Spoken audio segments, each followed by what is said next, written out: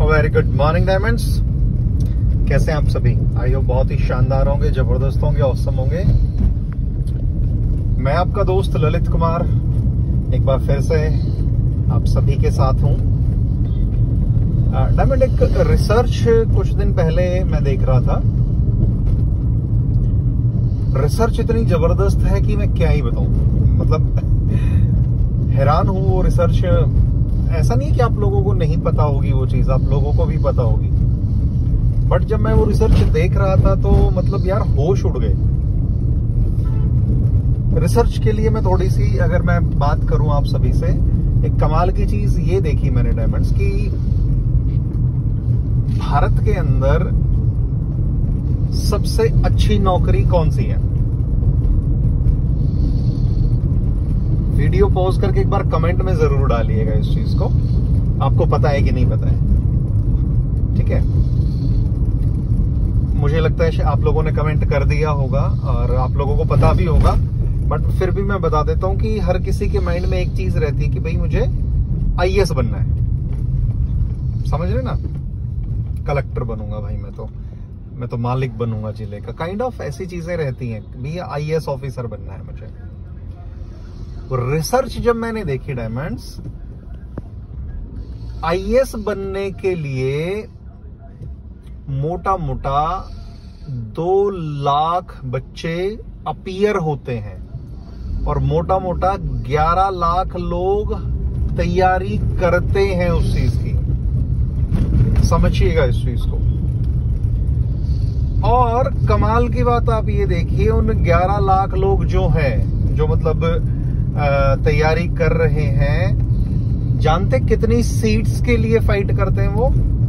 मात्र एक हज़ार सीट होती हैं। और उस पे भी और एक मज़ेदार चीज़ मैं बताता हूँ, जो आईएएस होता है, उसके लिए मात्र केवल और केवल 180 सीट्स होती हैं डायमंड सोचिए आप।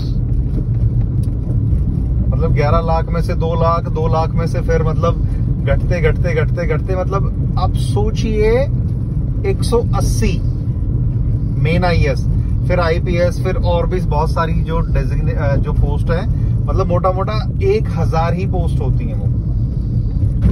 और उस पे भी एक और मज़ेदार चीज़ आप देखिए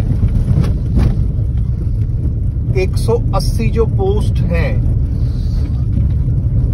उसमें भी जर्नल है ओबीसी है एससी है एसटी है मतलब स्पेशल कोटा काइंड ऑफ़ बहुत सारी चीज़ें होती हैं।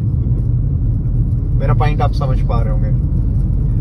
और वो जो बच्चे कोचिंग ले रहे हैं, वो लाखों रुपए खर्च करते हैं। यानी एक अगर मैं बात करूँ, एक अच्छे इंस्टीट्यूट की अगर मैं बात करूँ तो मरे से मरी ढाई से पाँच लाख रुपए तक की फ़ीस होती है, मरे से मरी।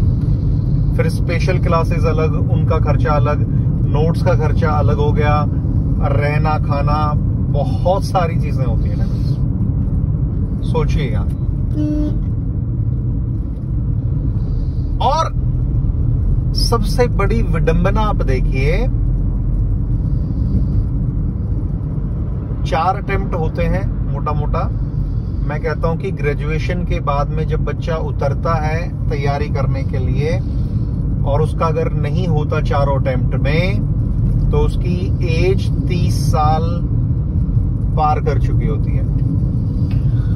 और उसकी वजह से आप सभी जानते हैं कि उनके करियर की लंका लग जाती है। इस पे एक बहुत अच्छे से डिटेल में मैं वीडियो बनाऊँगा।